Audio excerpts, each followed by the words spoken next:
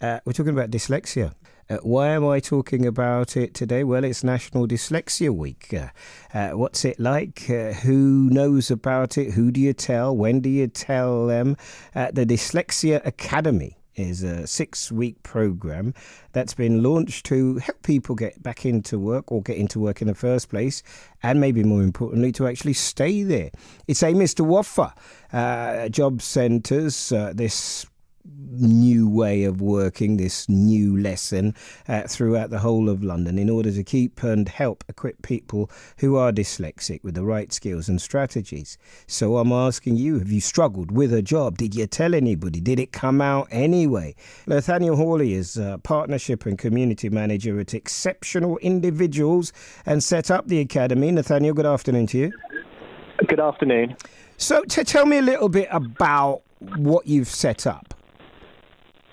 Um, well, exceptional individuals, we are we support people who have a form of neurodiversity, so things like dyslexia, and I mean everyone in the team, you know, we we resonate with it, so we understand what it's like to be unemployed and has a different way of thinking, because you can go your whole life kind of not really understanding what it is. You kind of get told you have it, but it doesn't really mean much.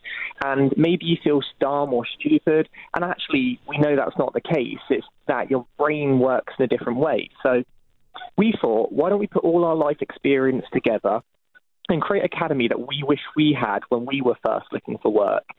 So in this academy, it's um, it's about for the first time ever, really understanding what dyslexia is to you. Can, can I, can, can, I, can I stop you, Nathaniel? Yes, please. Please, please, please tell me that you have dyslexia. Otherwise, you sound incredibly patronising.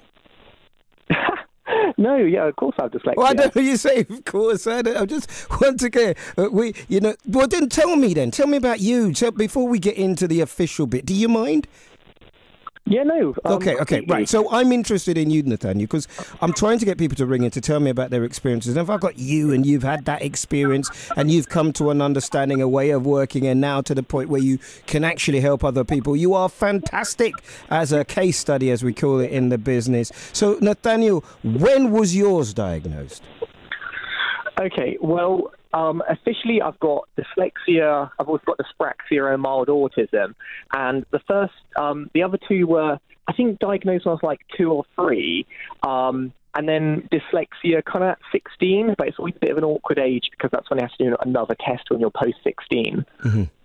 And, and, and up until then, what were the difficulties that either you had or your parents noticed you having? I mean, I, felt like I was always a few years behind all my peers. So, I mean, I learned to read, I think, like when I was post like 11. Um, so everything was a bit delayed, but also things which you would even consider. So I learned to tell the time a lot later. I couldn't tie my shoelaces. Um, things that kind of, my social interactions were always a little bit different. And you don't really understand why. You kind of like, you get put in the bottom set and it's not that you're not intelligent, you're extremely intelligent, but it's kind of like your ambitions gets kind of like lowered before yeah. you even really get a, t- yeah. a chance to understand how your mind works. You see, I didn't understand that until my children started to go to school because even though officially teachers quite often don't segregate, don't stream, they do teach the children who have the ability of learning quite close together so the other children know, don't they? No, absolutely. And you get a bit of a reputation for, yeah, you know, yeah. Uh, being a bit slow, not yeah. being very intelligent. And it, you get judged so early on, and it does have an impact. Like when it comes to choosing your options, if you're a bit slower than the other kids, you get less subjects. If you get less subjects, you're less likely to get into, say, sixth form. If you don't get into sixth form, you're less likely to go into university. If you're less likely to university to get a decent job. So it does have a massive yeah. knock-on effect so early yeah. on. Let, let, me ask you about the confidence bit of it then. D- yeah. did, did you ever doubt your intelligence? I mean, I think the, same with most things in life, if you get told it enough, you start to believe it. So, yeah, I did think I was kind of like not very intelligent, but I just thought I was unable to concentrate on really simple things. But it turns out it, I found everything a bit too easy, really.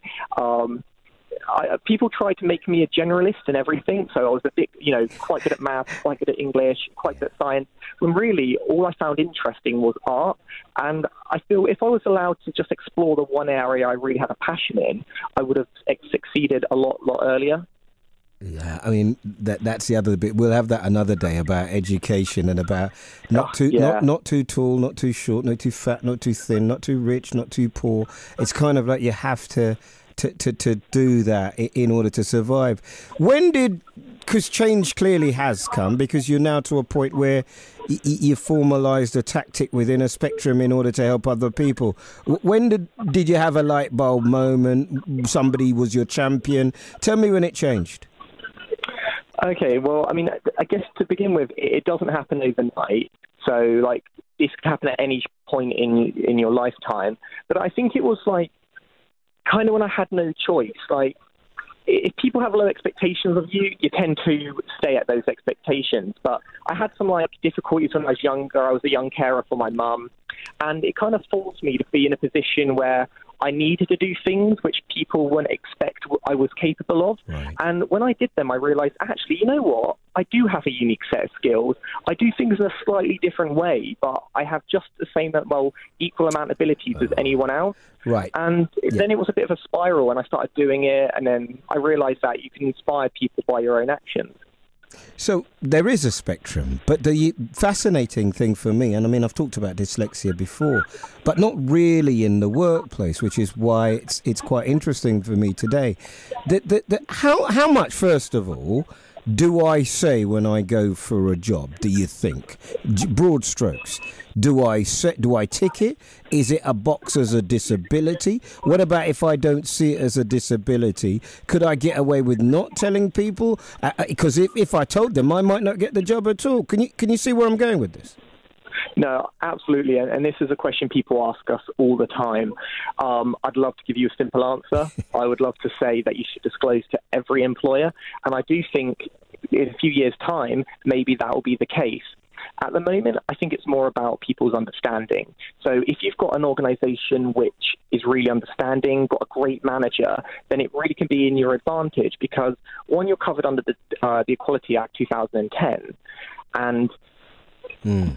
Yeah. Black, pe- also, black people tell me that all the time. D- disabled people tell me that uh, all, all, all, the time. Gay people tell me that all the time. It, it, you you know and I know it may well be in, the, uh, but unless you can prove it, which you can't at a at a casting audition or interview, then actually it is still at the behest of the person uh, who is interviewing you to operate some subjective view of whatever you tell them.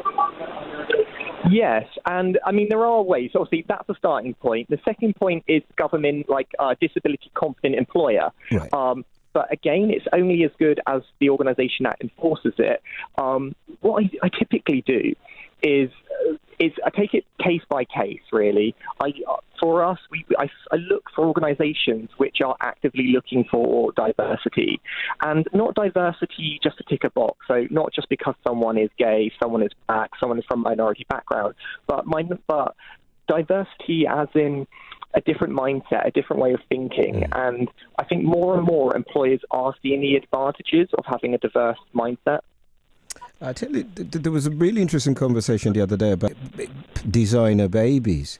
And there was a, a, dwarf professor who came on and who pointed out that most of the tech firms who made most of the innovations that we celebrate so much are, are, worked in by people with a form of autism. So the way the brain works and the challenges that you have and how you overcome them can, can by some organisations see be seen as a blessing.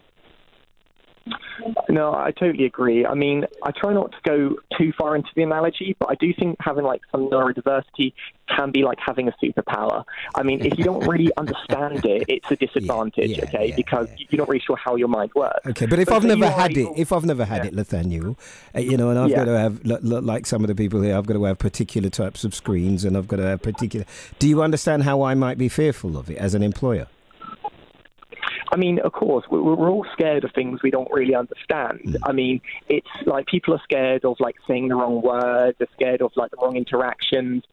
So, I mean, what I say to that, I think the industry is changing. More employees are becoming more aware, but it is very much up to the individual to not just know they have, say, dyslexia, but to really understand what it means to them and how they learn. Mm. If you can tell someone what the issue is, but then give them a solution, they're far more likely to listen to you rather Fantastic. than just disregard you. Absolutely. Could you just tell us a little bit? Apologies, because I've spent so long talking about you, and you are fascinating, by the way. That I haven't asked you. I've not asked you very much about the whole partnership and the whole scheme. Tell us a little bit about this six-week program. Okay. Well, I mean, we've been supporting people for about four years now with dyslexia, and we realise there's so much talent out there that's just kind of getting missed by employers. And it, so far, there's a lot of things which try to make organisations um, change their way of thinking. But we thought, why don't we put the power back into the individual? So in this academy, we look for people who are extremely intelligent but have neurodiversity, have dyslexia, and just aren't kind of getting a knowledge. So we're looking at, okay, one, do they know what it is, understanding it? If they want to disclose, how do they disclose in the correct way? How do you get noticed? And we create things like video CVs, which it shows more about personality than like qualifications or public speaking, which allows someone to turn their struggle into actually their unique selling point.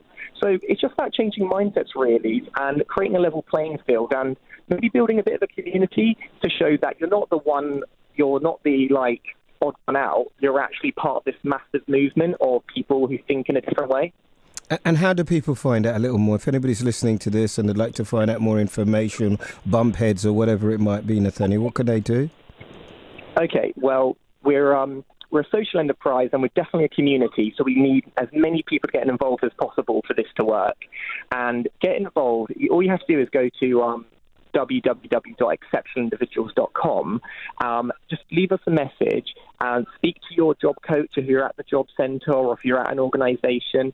And if we can build up enough demand, enough people showing the benefits, then we're able to roll this out nationwide. We're starting with London and then hopefully, you know, then domination, you know, fingers crossed. Well done, well done. Aim big, always aim big. Nathaniel, a pleasure speaking to you. I wish you the very best of luck. Uh, that's uh, Nathaniel Hawley there talking to me about, um, he's a partnership and community manager. Uh, they come up with this way of helping employers and helping uh, prospective employees. We're talking